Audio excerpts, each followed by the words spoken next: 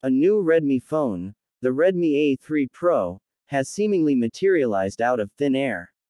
While Xiaomi hasn't officially announced the device, a Kenyan online store has published a listing for the A3 Pro, complete with basic specifications and a surprisingly low price tag.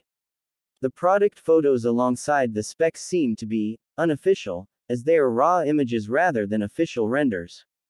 It's worth noting that there was no A2 Pro or A1 Pro before, making the Redmi A3 Pro the first Pro model in the A series.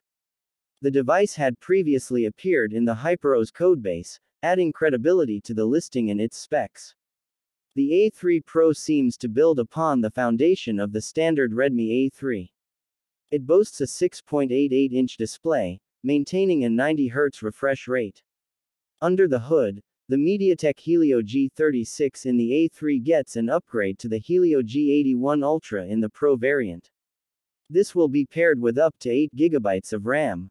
The camera department is another area where things get a notable upgrade. The listing shows a 50MP AI main sensor, a significant step up from the A3's 8MP dual camera system.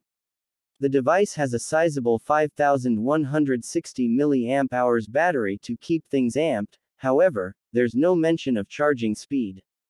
Security will be handled by a side-mounted fingerprint reader. The most convincing aspect of the A3 Pro might be its price tag. Listed at $110, it puts itself firmly in the budget smartphone arena. If the leaked specs hold true, this price could make the A3 Pro a compelling option for value conscious users.